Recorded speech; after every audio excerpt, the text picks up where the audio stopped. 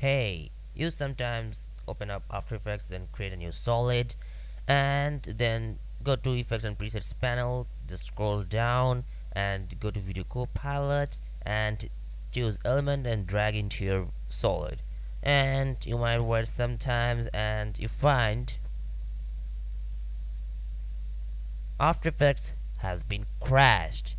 So in this video we're gonna fix it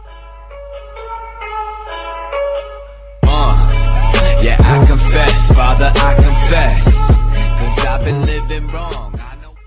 So just follow me and very carefully listen my instructions so click on this installer and click on accept then go to customs browse just follow me as go to local disk and in Adobe After Effects choose plugins and then click on next I'm not gonna do because I have installed. Then go to crack and choose that element file and you go to After Effects then go to plugins video copilot and just paste here okay?